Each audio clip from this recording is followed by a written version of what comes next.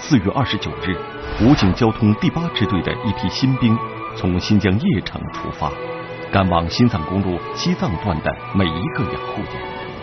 从此开始，他们在漫漫新藏线上护路兵的生活。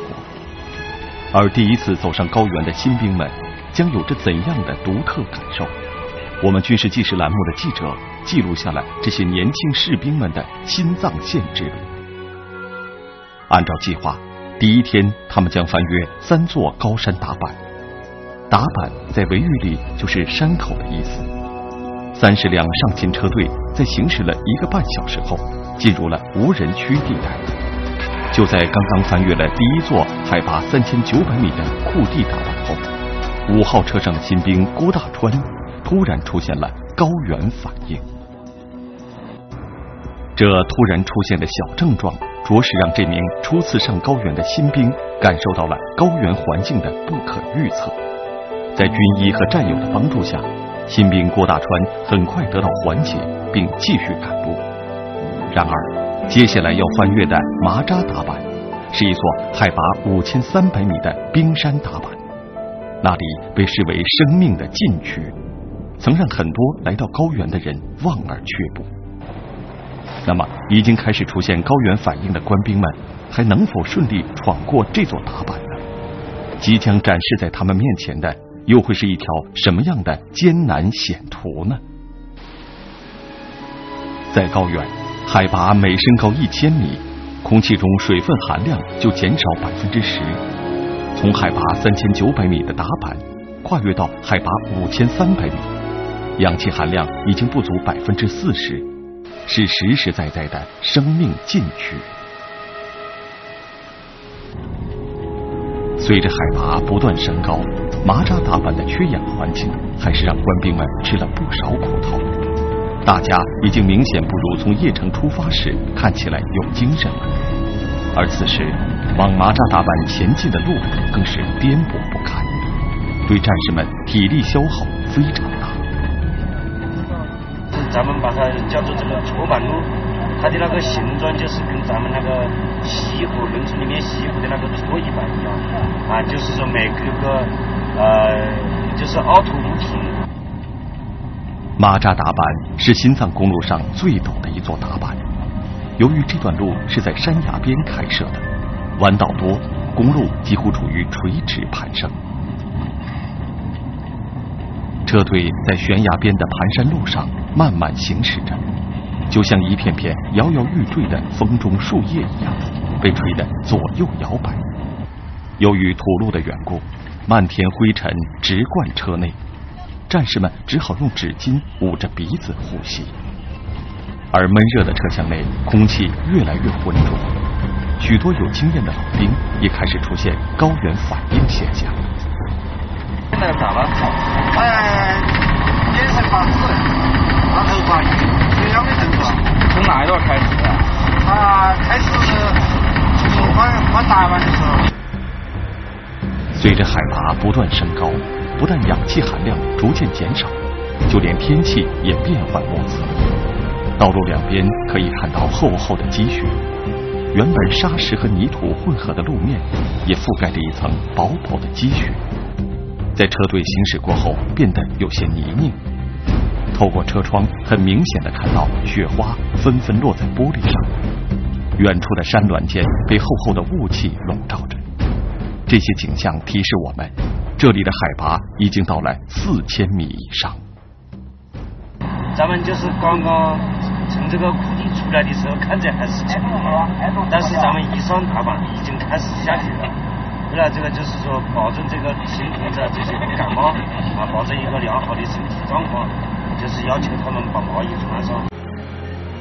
海拔还在继续升高，除了高原反应带来身体上的折磨，更让老兵们担心的还有气温的突然变化可能引起的感冒。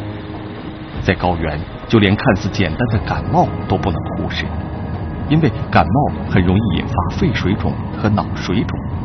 甚至导致生命危险。面对麻扎达板上恶劣的环境，新兵们又该怎样面对呢？我们适应起来会比较困难，因为我们是第一次上，没有没有没有就没有这方面经验吧，所以我希望我们能够，我们什么都不去想，就是就是只管只管一点，就是我们要用自己最开心、最乐观的心情上上就行了，不管怎么样，只要一个字上。虽然前方的路会更加艰险，但罗蒙的话却让所有的新战友都振奋起来。最终，大家成功翻越了麻扎达坂。经过十五个小时的长途跋涉后，车队终于在晚上十二点到达了第一个住宿点——三十里营房兵站。官兵们将在这里进行休息。然而，就在官兵们下车集合时，一直在我们摄像机镜头前表现的很勇敢的罗蒙，却出现了呕吐。这时，战友们才知道，一路上他早就出现了高原反应症状。为了不耽误战友的行军，他一直在强忍着痛苦。和罗蒙一样，其他的官兵也在到达了三十里营房兵站后，才来到卫生队接受治疗。为了确保官兵们的健康，等官兵们都入睡后。军医们还要给在路途中出现过高原反应的官兵再次检查。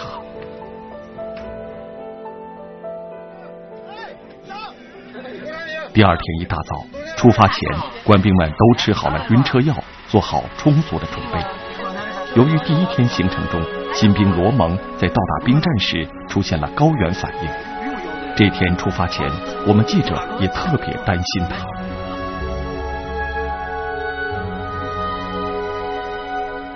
今天能那个那个谁，走来走了，来陈文，先坐这吧。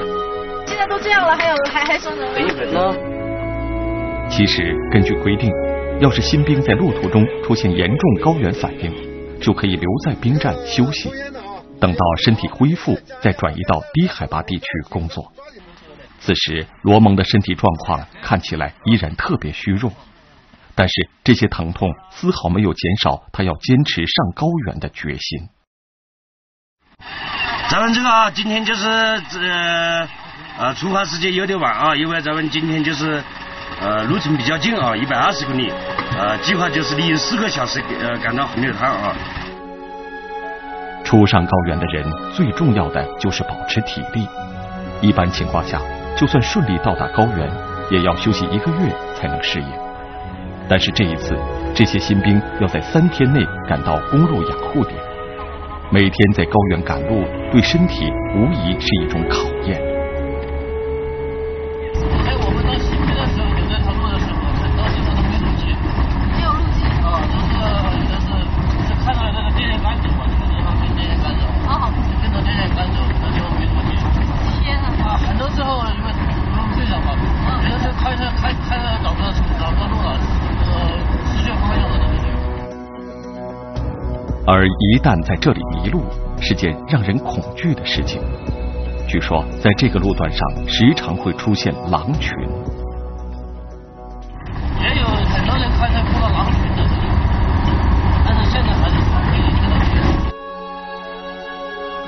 经过三个小时的行军，车队停下来进行短暂的停留，正好是午餐时间。早已准备好的八宝粥、面包和火腿肠。是每辆车的伙食保障。一直处于晕车状态的战士们，此时有了精神，坐在车队旁欣赏高原的景色。四周雄伟的昆仑山，让战士们的心里有了许多的感触。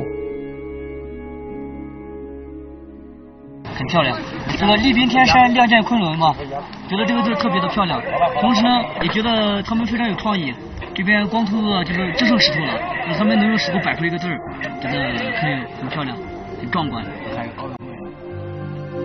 右面一侧的山腰上写着“厉兵天山，亮剑昆仑”八个大字，是曾经在这条路上修路的战士们用石头砌成的。这里的一切让新兵们不仅感受到了新藏线的艰辛，也让大家感受到了西部高原军人的豪迈情怀。而正是这样的军人豪迈支撑着一代代军人在这片神奇的土地上扎根奉献。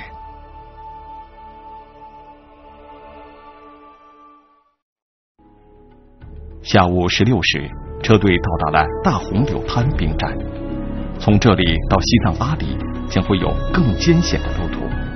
所以在新藏公路上行军红柳滩是必须要停留休整的一个地方。这里海拔四千二百米，由于四面环山，空气不流通，含氧量不足百分之三十，很多人会在这里发生高原反应。不是现在怎么样？现在感觉好多了。好多了。是。嗯，吃药没有？吃了。没感觉到头昏脑胀的？没有。腿也不飘？不飘。啊，那你素质还可以。虽然罗蒙在摄像机面前依然很坚强的说没事儿，但是从他的脸上已经很明显的看出他的身体很虚弱。与此同时，其他一些官兵也出现了高原反应。一直担负着车队人员安全的支队政委张志双，一路上也在承受着高原反应的折磨。为了减轻官兵们的心理压力，他一直表现得很轻松。直到忍受不了时，他才偷偷的回到房间，吸上一口氧气。头有木屑，进来我说的是，吸会氧，吸会氧可能就好一些没事。第三天凌晨五点。天还没亮，车队就要赶路了。今天车队就要进入西藏阿里地区，行程五百一十公里。在夜色中赶路，这条路就显得更为危险。车队行走过后，尘土覆盖着整条路面，能见度很低。从红柳滩向前不久，就是一段非常难走的路段——甜水海。虽然它有一个好听的名字，但却是一段让人苦不堪言的道路。由于这里常年出现冻土、翻江、杀害、陷车等世界级的公路病害，堪称新藏公路上的拦路虎，因此这里是新藏公路上最为脆弱的路段。每年的通车时间不足三个月。从这里看去，道路两边冻结成冰的湖面，早已把公路的路基冲毁。被冲毁的路面，如果不注意，就容易造成车辆塌陷。在狭窄的路面上，一旦有车辆发生塌陷，就会影响整个车队的行进。他这个潜水海这个地方呢，就是我们基本上是梯队的指挥长下来就会亲自指挥的，一辆一辆去通过。虽然行军中担任救护用的小型车的后轮陷进沙坑里了。但在官兵们及时抢修下，终于把车子救出来了。最后，车队还是顺利的通过了这一路段。然而，紧接着就是到达了被称为“死人沟”的地段。这里是喀拉昆仑山腹地，每年都有在这里冻死、患高原病死亡及翻车死亡的人，是一个吞没了无数过往行人生命的地方。常年生活在高原地区的人们，也是谈死人沟而色变。那么，官兵们又能不能顺利通过这个地段？虽然一路上指挥员在这一路段指挥车辆极为小心，但是高原环境的恶劣，还是让指挥员担心的事情发生了。一名战士突然出现的情况，让指挥员们极为紧张。氧气开着呢，来。他叫什么名字？高翔。当新兵高翔被送上救护车时，几乎处于半昏迷状态。高原反应带来的病痛已经让他无法回答医护人员的提问。在小小救护车的空间里，医护人员在对他进行抢救的同时，不停的和他说话，避免他陷入昏迷。因为一旦陷入昏迷，人就会很快因呼吸衰竭而死亡。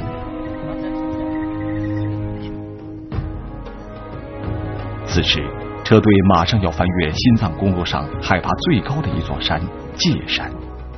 界山海拔六千七百米，被称之为世界屋脊的屋脊，含氧量不足内地的百分之三十。在这离天最近的地方，狂风裹挟着大片的雪花一直在飞舞着。在这样的环境里，生命脆弱的如同一片雪花。随时会被狂风吞噬。这是一个充满了死亡与恐怖的地方。那么，这名出现严重高原反应的新兵，又能否逃过死亡的威胁呢？经过医护人员的检查，新兵高翔发烧三十八度，情况十分危急，必须立即输液。此时即将翻越界山达坂。界山大坂路段特殊的地质结构和复杂的气候条件，被专家称为“世界公路病害百科全书”。他怎么样？啊？他怎么样？现在稳定下来，稳定下来了。经过医护人员的及时治疗，高翔的病情稍微稳定下来。一直在指挥车辆行军的指挥员，在指挥车辆经过界山打板时。却始终牵挂着高翔的病情。高糖，高糖，不要害怕，小伙子，听没有？嗯。哎，我看你现在好多了，现在好多了，好多好多了。对，马上到了，我们马上到目的地了啊，那里多好。现在三千多米呢，刚才是五千多，知道吧？好吧。脸上现在看到红的了，刚开始是白的，现在好多了。对，好多了。在医护人员的正确处置和战友们的鼓励下。高翔一直在和严重的高原反应进行着斗争，最终车队顺利通过了界山达坂，而越过界山达坂后，就进入到了八支队的养护路段。下山不久，就到了八支队的第一个公路养护点多马乡，而新兵罗蒙所在的五号车就是在这里工作的官兵。多马乡是新藏公路上的第一个养护点，五号车的官兵就是从界山达坂开始的一百公里养护路段。这一路段海拔最高，条件最艰苦。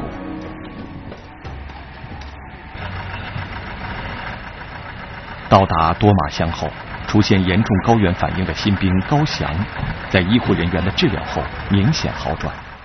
同样有高原反应症状的罗蒙。此时却精神抖擞。在车上就不是挺不爽的，回到到这里了，反正现在觉得有种，你们给我们说说说不出来的感觉，感觉自己到家了。一碗热腾腾迎接新兵的面条，让大家顿时感觉消除了很多疲惫，也让新兵们感受到了家的温暖。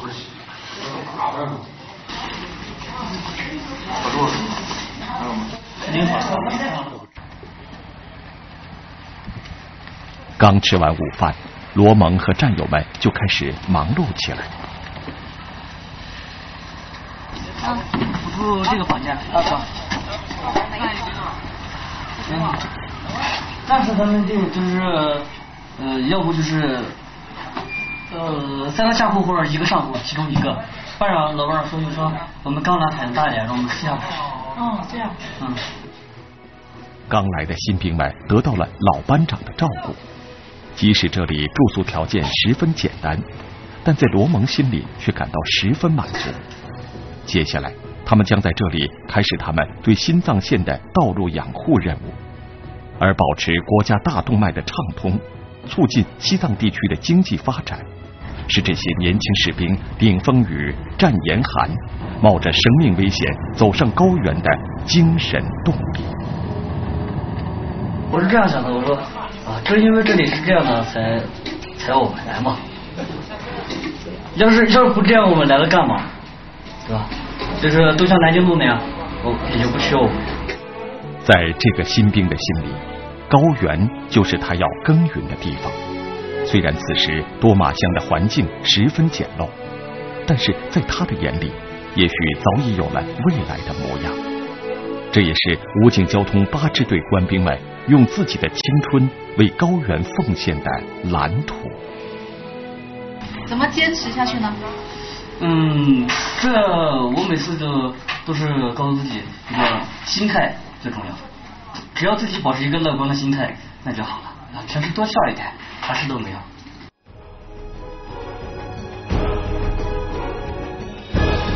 明天起，车队载着剩余的官兵们继续前行。车队将在宗教圣地神山圣湖边经过，官兵们将领略怎样的美丽传说？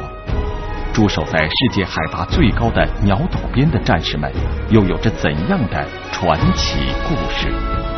军事纪实下期播出，《天上的国道》第三集。